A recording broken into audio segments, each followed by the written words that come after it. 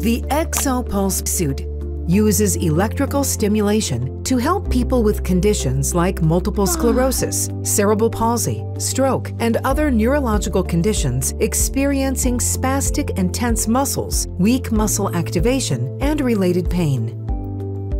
It utilizes neuromodulation, leveraging the physiological reflex mechanism called reciprocal inhibition. By stimulating the antagonist of the spastic muscle, the spastic muscle subsequently relaxes.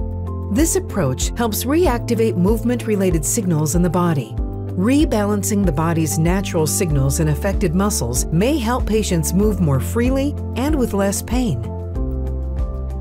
The stimulation settings can be customized for each patient. The ExoPulse suit can be used at home or in a clinical setting for one hour every other day unless otherwise specified by your healthcare provider.